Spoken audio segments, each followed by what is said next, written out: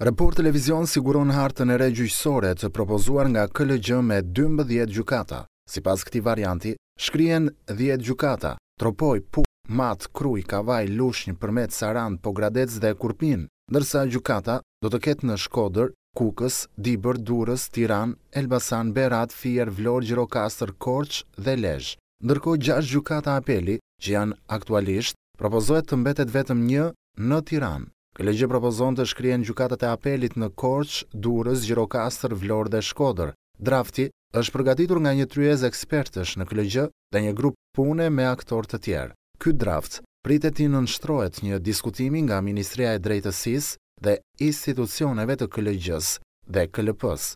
Shkrirja e dhjetë gjykatave do të sjellë automatikisht edhe shkrirjen e dhjetë prokurorive. Ndërkohë prokurori i përgjithshëm Olsian Çela ka shprehur dakordësinë për planin e KLGJ-së për hartën e re gjyqësore pavarësisht se KLP ka shprehur rezerva për uljen e numrit të gjykatave, që praktikisht do të ulë edhe numrin e prokurorive në rrethe. Projekti i hartës së re gjyqësore tashmë është dërguar pranë Ministrisë së Drejtësisë.